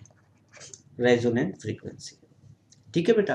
तो ये तो बना रेजोनेंट फ्रीक्वेंसी अब रेजोनेंट फ्रीक्वेंसी का फॉर्मूला आपके पास आ गया है, ठीक है? क्या आया? ठीक है? Omega is equal to one upon में रूट एल सी ठीक है? इसको आप रेजोनेंट फ्रीक्वेंसी को ओमेगा सब्सक्रिप्ट आर से भी लिख सकते हो. ओमेगा आर रेजोनेंट फ्रीक्वेंसी को ही रिप्रेजेंट कर रहा है. आप यहाँ पे ये लिख दो. कह रहे देखो, जब एक्सएल और एक्सी इक्वल होते हैं जो फ्रीक्वेंसी जो मिलती है ना यहाँ पे उसको आप ऐसे लिख सकते हो, ओमेगा को ओमेगा आर बोल दो ये वन अपॉन में रूट एल सी हो जाएगा। ठीक है? ओमेगा सब्सक्रिप्ट आर जस्ट ये डिपिक्ट कर रहा है कि ये कंडीशन कौन सी है? XL is equal to XC वाली। ठीक है? तो अब बेटा इसके बाद में हम क्या करेंगे? यहाँ पे जो ओमेगा है, ओमेगा को आप क्या लिख पाओगे? ओमेगा को आप ऐसे लिख सकते हो, two pi T T time period होता है, रूट वन अपॉन में रूट एल सी और टाइम पीरियड को हम फ्रीक्वेंसी लिख सकते हैं। ठीक है? न्यू ये इस फो, इस फॉर्म में भी इस फॉर्मूले को आप लिख सकते हो। तो ये जो फ्रीक्वेंसी आएगी न्यू इसको आप ऐसे लिख दोगे वन अपॉन में two pi root L C one upon में two pi root L C ये भी आपकी रेजोनेंट फ्रीक्वेंसी है। वो एंगुलर फ्रीक्वेंसी की टर्म में थी, ये लीनियर फ्रीक्वेंसी ठीक है?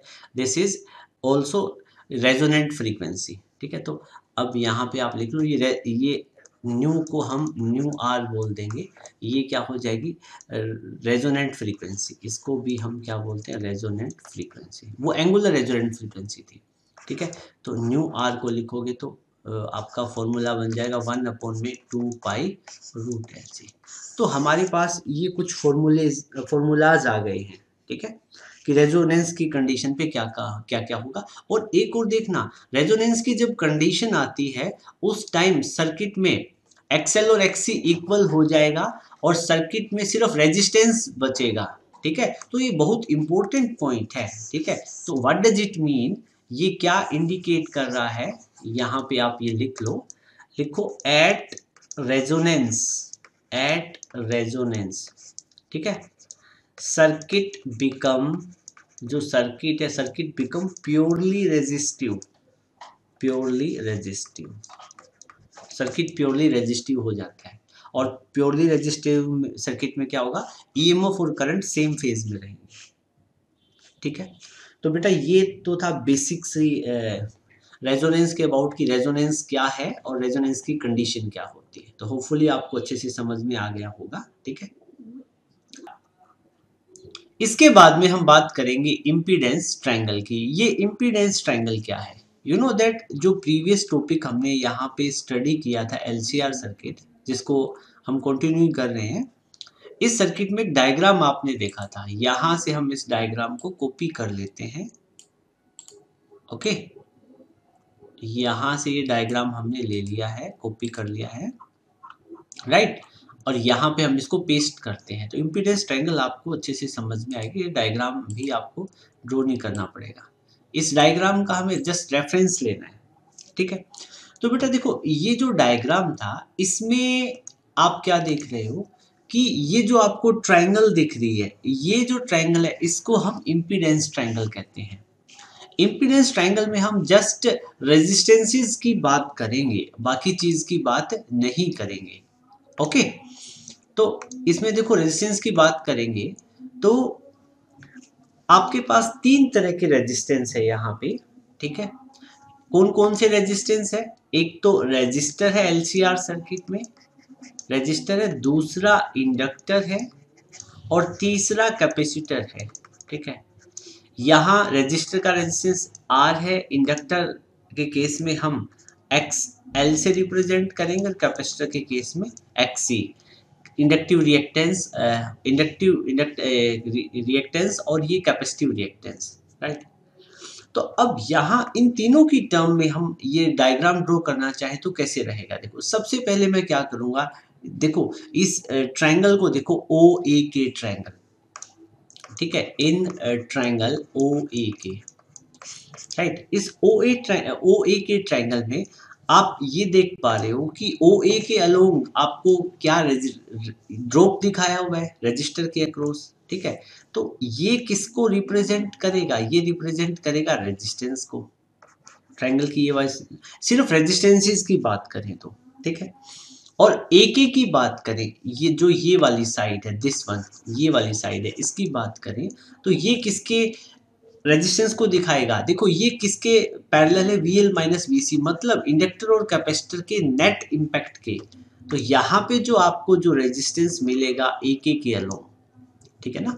ये जो पॉइंट को बोल दो, ये ओ पॉइंट है, ये ए है, ये के है, यहाँ सिर्फ़ रेजिस्टेंसेस की बात करेंगे। तो यहाँ पे आपको जो रेजिस्टेंस मिलेगा, वो इंडक्टर और कैपेसिटर का मिलेगा और आपने स्पेशल केस ले रखा है जब इंडक्टर के अक्रॉस ड्रॉप ज़्यादा हो एज कंपेयर टू कैपेसिटर ठीक है तो यहाँ पे जो रेजिस्टेंस मिलेगा, वो इन दोनों का मिलेगा एक्सएल माइनस एक्सी ठीक है, और इनका रिजल्टेंट जो आपको मिला था, इनका जो रिजल्टेंट मिला था तो वो आपको क्या मिला था? देखो, इस डायग्राम में आपने ये जो रिजल्टेंट निकाला था, ठीक है, जो कि इन तीनों जब सर्किट में एल सी और आर इसी सर्किट में तीनों कनेक्ट हो तो उनके क्रॉस जो नेट ड्रॉप है तो उसके क्रॉस जो नेट रेजिस्टेंस जो आपको मिलेगा, उसको हमने जेड का नाम दिया था।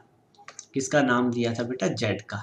That was inductive impedance Z को हमने क्या बोला था? इम्पीडेंस और यहाँ पे जो एंगल होता है, उसको बोलते हैं फाइव ठीक है?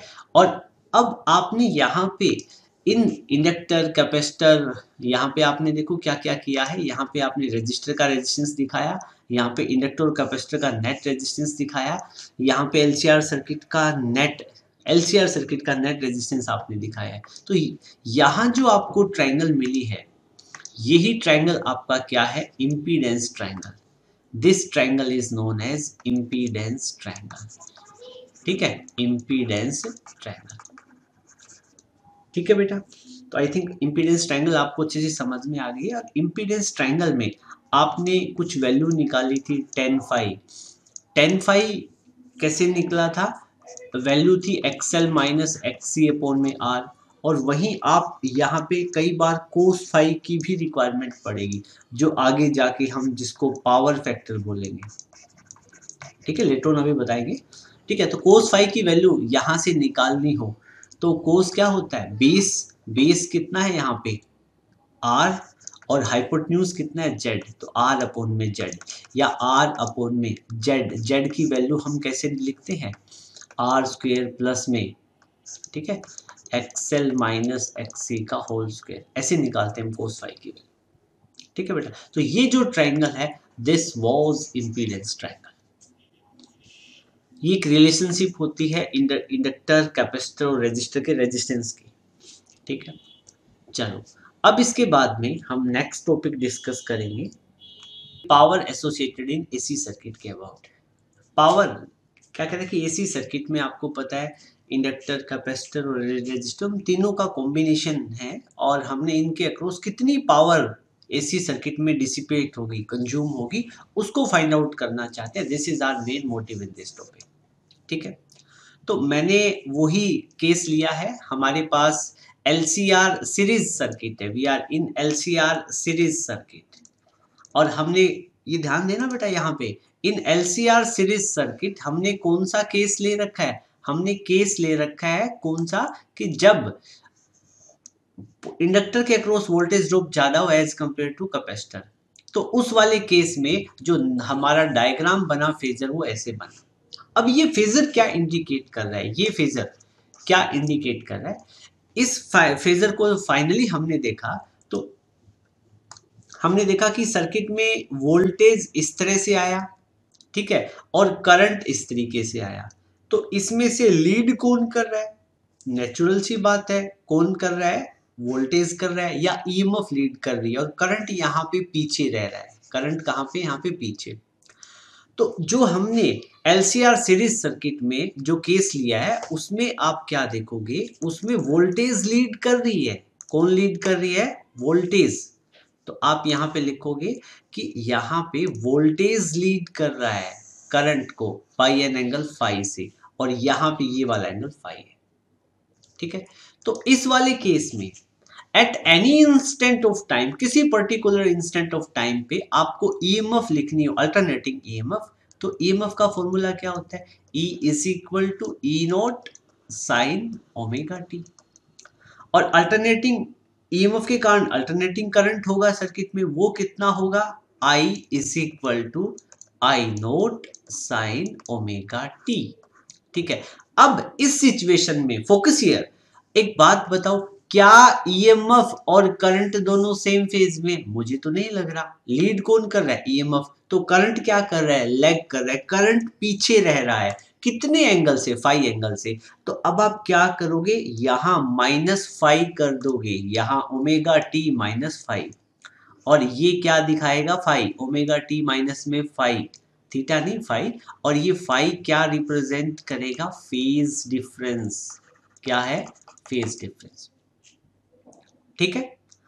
अब एक बात बताओ बेटा, मैं आपसे पूछूँ कि ये सारी सिचुएशन होती, हो रही है अल्टरनेटिंग ईएमएफ है अल्टरनेटिंग करंट है तो क्या मतलब इलेक्ट्रिक वर्क होगा? डेफिनेटली होगा। मैं कह रहा हूँ कि स्मॉल टाइम में कितना वर्क होगा?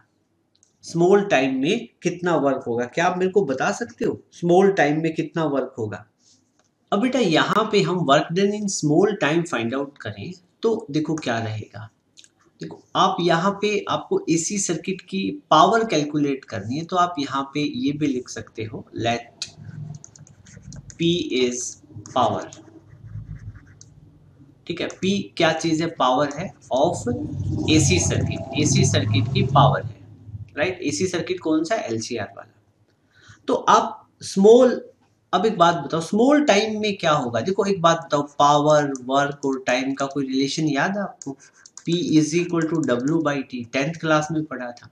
यू गेटिंग माई पॉइंट तो यहाँ पे मैं पावर की बात करूँ तो स्मॉल टाइम में स्मॉल वर्क होगा। ठीक है? तो P को मैं d W by d t लिख सकता हूँ। You are getting my point इसको मैं रब कर देता हूँ।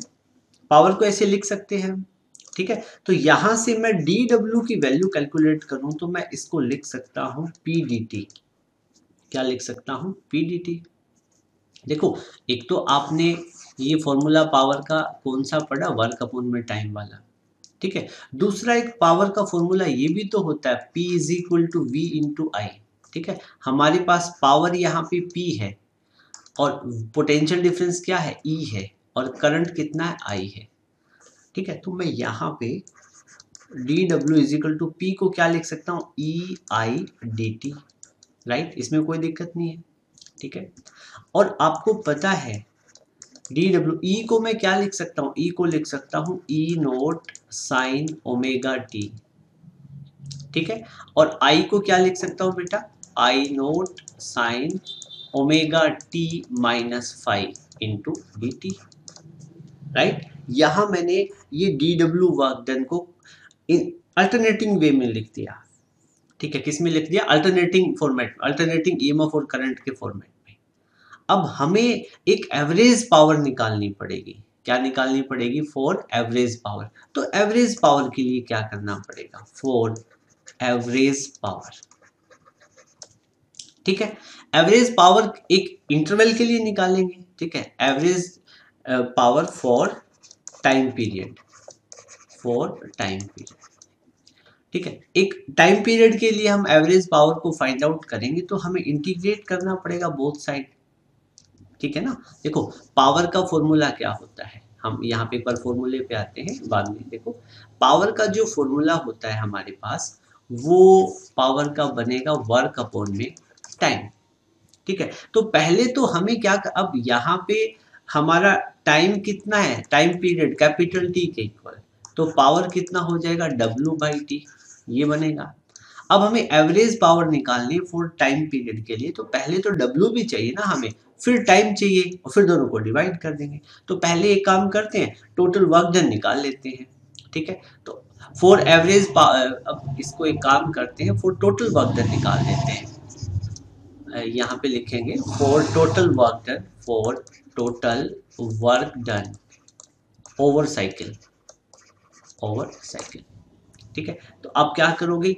इंटीग्रेटिंग बोथ साइड दोनों तरफ़ इंटीग्रेट कर दोगे। तो यहाँ पे क्या होगा? डी डब्ल्यू का इंटीग्रेशन हो जाएगा। यहाँ पे E naught sine omega t और यहाँ पे आई नोट भी है। चलो बाद में इकट्ठा लिख देंगे। I naught sine omega t minus phi right और डी टी इनका इंटीग्रेशन करेंगे। तो डी डब्ल्यू का इंटीग्रेशन करेंगे तो कितना बन जाएगा? डब्ल्यू डब्ल्यू किसके इक्वल हो जाएगा? E naught I naught sine omega T और क्या बनेगा बेटा? साइन ओमेगा टी माइनस में फाइव इंटू डी टी ठीक है? ये हमारा बनेगा टोटल वर्कडन अब टोटल वर्कडन निकालने के लिए आपको क्या इंटीग्रेशन भी करना पड़ेगा? तो टोटल वर्कडन के लिए लिमिट कितनी बनेगी? ज़ीरो से कैपिटल टी ज़ीरो से capital T T time period की बात हो रही है ना? ठीक है। अब आप यहाँ पे लिखोगे फोर एवरेज पावर आपको निकालना क्या है? फोर एवरेज एक मिनट जस्ट ये पेन बता दें कौन सा लिया जाए ठीक है? लिखोगे आप यहाँ पे for average power average power के लिए क्या करोगे? फोर एवरेज पावर पावर का फॉर्मूला होता है पावर का. मैंने आपको बताया ये होता है वर्क अपॉन में टाइम पावर हमारी पी है यहाँ पे. वर्क वर्क डब्ल्यू है वैल्यू पुट कर देंगे। टाइम कितना है? पूरी साइकिल में कितना टाइम लगेगा? कैपिटल टी टाइम लगेगा बेटा। ठीक है? तो यहाँ पे आप क्या करोगे? पावर निकाल लोगे। तो पावर निकालने के लिए आपको पहले वर्क लिखो और वर्क कितना आया था? ये देखो, यहाँ पे इंटीग्रेशन की फॉर्म में आपको लिखना पड़ेगा। लिमिट कितनी? ज़ीरो से टी लिमिट लिख दो ज़ीरो से टी ठीक है? E naught I naught sine omega t into sine omega t minus phi ठीक है? और ये आ जाएगा बेटा डी टी ठीक है? ये तो वर्क आपने लिख दिया और इसको डिवाइड किससे करना पड़ेगा? टाइम टी से। अब जो आपको पावर मिलेगी, वो एवरेज पावर मिल जाएगी फॉर ए साइकिल राइट अब इसको देखो सोल्व करना है जस्ट इंटीग्रेशन करना है, और तो कुछ है नहीं, कोई रॉकेट साइंस नहीं है इसमें। हाँ जस्ट थोड़ा सा एक ये कुछ आइडेंटिटी यूज़ होगी, वो आप देख लेना। चलो आइडेंटिटी बनाने की पहले सिचुएशन लेके आते हैं। साथ के साथ बता दूँगा मैं आपको। ये पेन कंफ्यूजन क्रिएट कर, इसका साइज़ बढ़ा देते ओके तो यहाँ पे एवरेज पावर आप लगाओगे। अब बेटा, यहाँ पे देखो ज़ीरो से हाँ कॉन्स्टेंट चीज़ें तो इंटीग्रेशन से बाहर निकाल लो। तो ई नोट आई नोट तो मैक्सिमम वैल्यू है तो बाहर ही आ जाएगी। ई नोट आई नोट ठीक है? अंदर क्या बचेगा बेटा?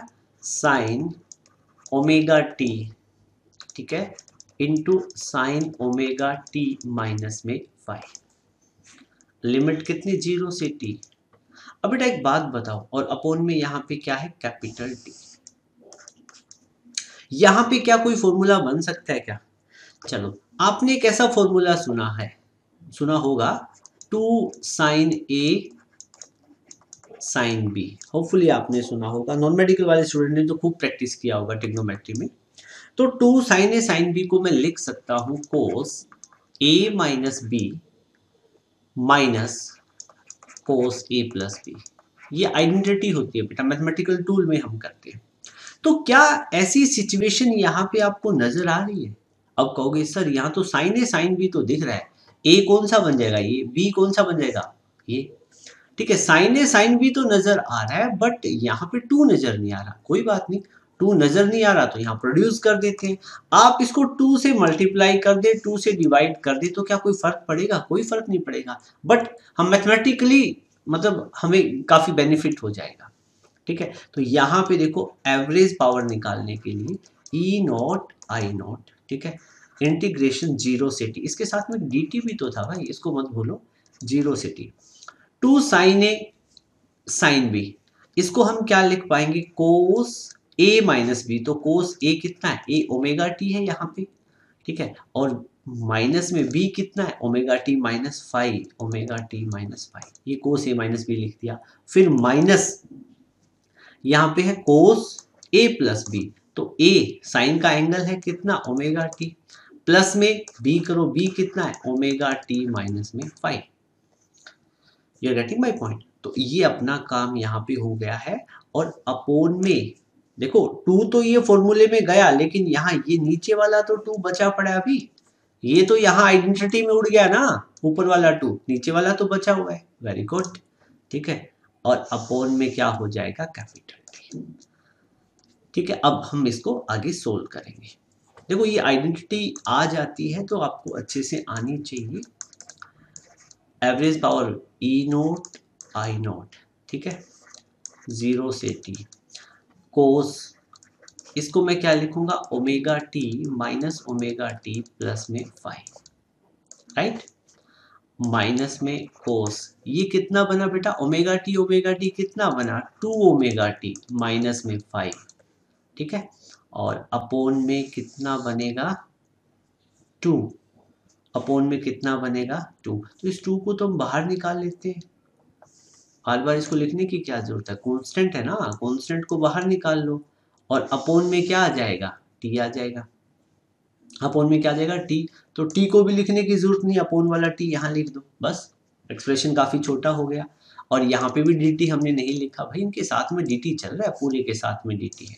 ठीक है? तो सिमिलरली यहाँ पे भी इसके साथ में क्या आ जाएगा? डी ये तो गड़बड़ हो जाएगी। चलो, अब तो जस्ट क्या रह गया? जो कटता है वो काट दो ओमेगा टी से ओमेगा टी कट जाएगा। राइट ठीक है। चलो। एवरेज पावर कितनी बनी? E naught I naught upon में टू टी ठीक है? अब यहाँ पे इंटीग्रेशन करें ज़ीरो से टी के बीच फॉर कंप्लीट साइकिल ठीक है? अब यहाँ पे हमारे पास बचा क्या है? ओनली कोस फाइव, सिर्फ़ कोस फाइव बचा है। माइनस में, यहाँ पे क्या बचा बेटा? Cos two omega t minus में फाइव। ठीक है? अब dt, देखो, इसके, dt तो पूरे के साथ है ना तो मैं यहाँ dt लिख देता हूँ। ठीक है? dt लिख देता हूँ तो कोस फाइव के साथ में भी, चलो एक स्टेप और बढ़ा देते हैं। वैसे अपने को डेरिवेशन को ज़्यादा कैलकुलेशन करने की आदत है। ठीक है? तो अब एवरेज पावर अपनी कितनी बनेगी? E naught I naught upon में टू टी ठीक है? लिमिट कितनी? ज़ीरो से टी अब इस स्टेप में आप क्या करोगे? मल्टीप्लाई कर दो। ठीक है? डी को तो एक तो डी आ जाएगा कोस फाइव डी माइनस में। ये बनेगा cos two omega t minus phi ठीक है? इंटू डी राइट ये वाला। ठीक है? अब आपको थोड़ा सा एक शॉर्टकट लेके चलना पड़ेगा, ठीक है? यहाँ पे शॉर्टकट क्या है? चलो, पहले अब इंटीग्रेशन को सोल्व करते हैं। ठीक है? तो इंटीग्रेशन को शॉर्टकट नहीं है, ये एक थ्योरम है। लेकिन फिर भी आप इसको सोल्व करके देखोगे तो ज़्यादा लेंदी हो जाएगा। मैं नहीं चाहता कि इतनी लेंदी कैलकुलेशन हमें कर, हमें करनी पड़े।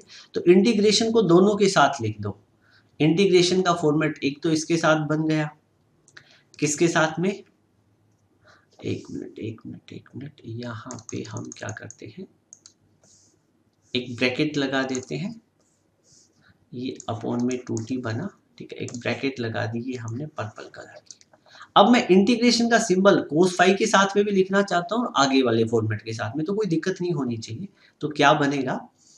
एक बार तो हम क्या करेंगे? यहाँ इंटीग्रेशन लिखेंगे ज़ीरो से T cos phi d t इसके साथ में लिखेंगे?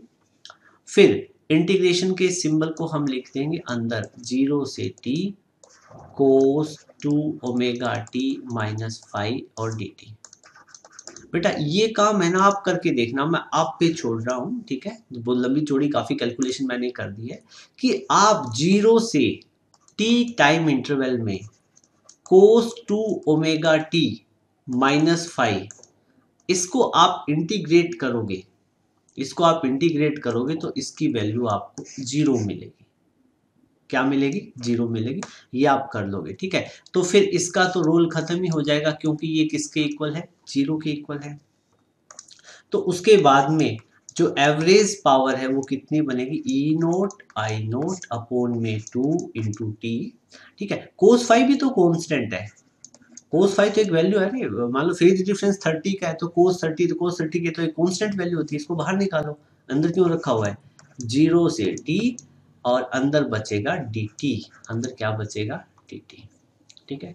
तो अब आप यहाँ पे एवरेज पावर फाइंड आउट करोगे तो E naught I naught upon में टू टी डी टी का इंटीग्रेशन कितना होगा? स्मॉल टी लिमिट कितनी? ज़ीरो से capital T capital T time period है डोंट फॉरगेट तो यहाँ से हम एवरेज पावर निकाल लेंगे तो E naught I naught upon में two T upper limit put करो स्मॉल टी की जगह, फिर माइनस में लोअर लिमिट ठीक है?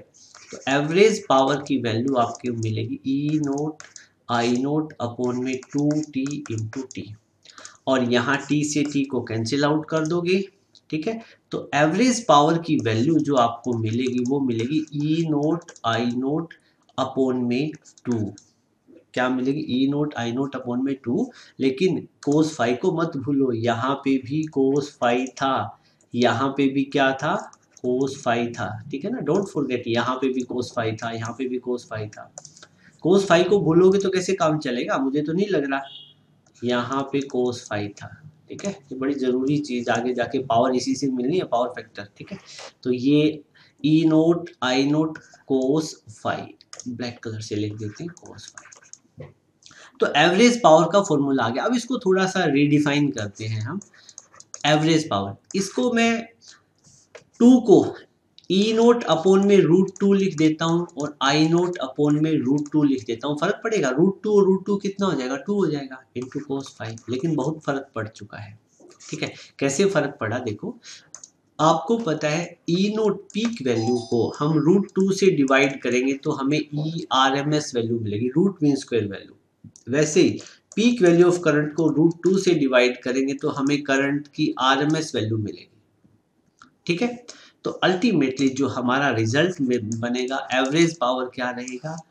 E R M S I R M S into cos phi result हमारा बन गया एवरेज पावर क्या होगी? रूट प्रोडक्ट होगी। Root mean square value of EMF और root mean square value of current और उसको आप मल्टीप्लाई किससे करोगे? कोस फाइव से पावर फैक्टर से। किससे मल्टीप्लाई करोगे? पावर फैक्टर से। तो यहाँ पे एक पॉइंट नोट करना, ये क्या चीज़ है? This is average power this is क्या है? एवरेज पावर ठीक है?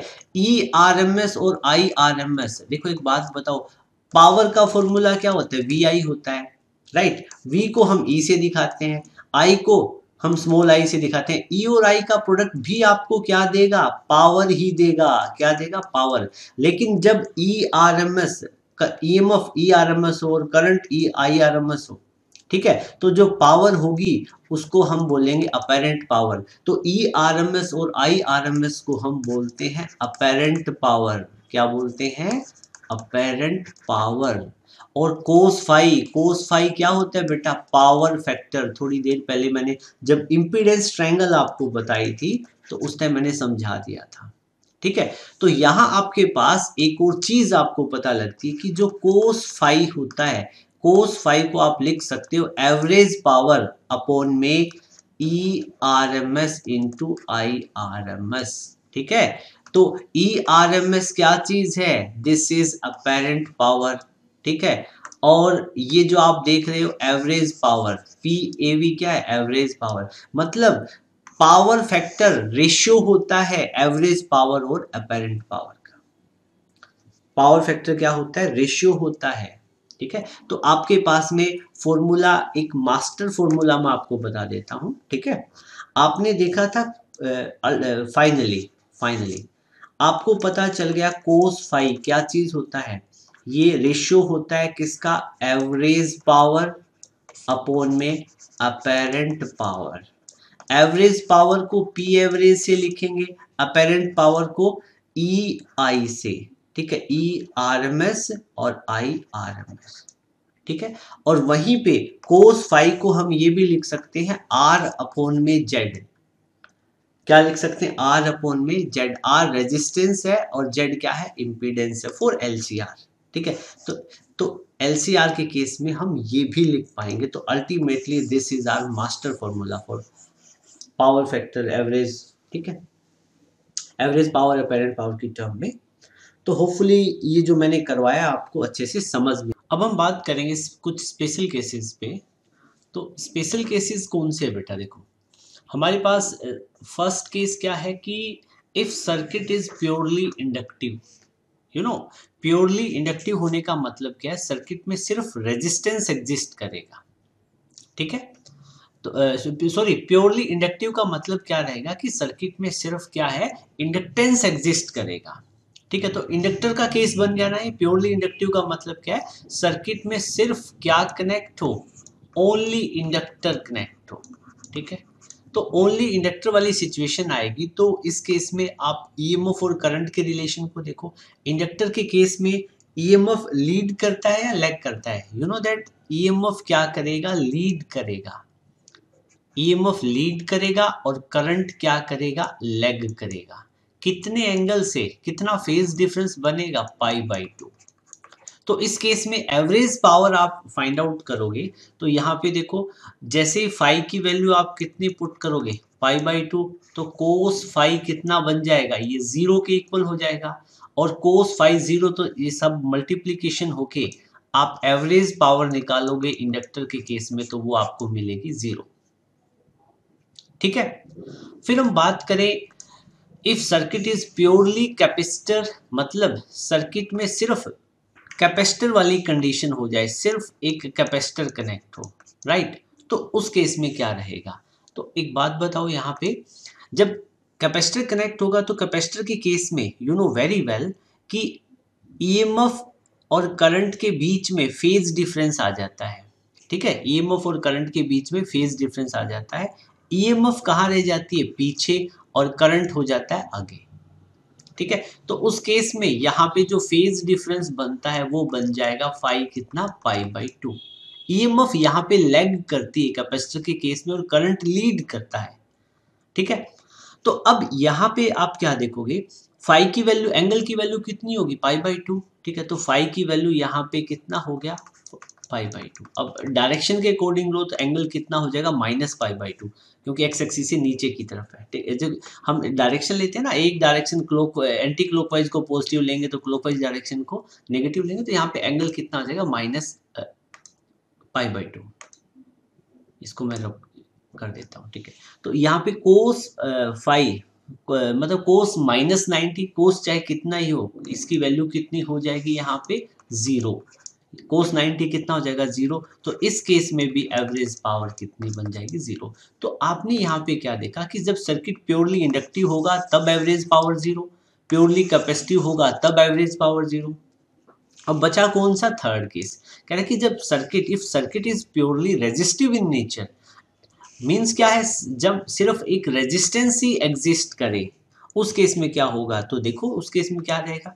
आपको पता है, जब सर्किट प्योरली रजिस्टिव हो तो ईएमएफ e और करंट दोनों सेम फ़ेज़ में आएँगे। तो यहाँ पे फाइव की वैल्यू ज़ीरो डिग्री हो जाएगी।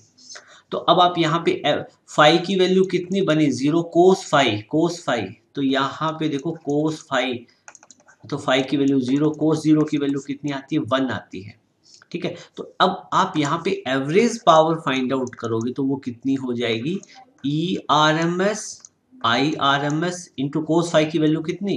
कोस ज़ीरो की वैल्यू कितनी? वन तो ये आ जाएगा वन तो एवरेज पावर आपकी बन जाएगी E R M S into I R M S okay so it was all about the average power in all three cases किन किन केसेस में? जब सर्किट क्या हो? इंडक्टिव हो कैपेसिटिव हो और रेजिस्टिव हो।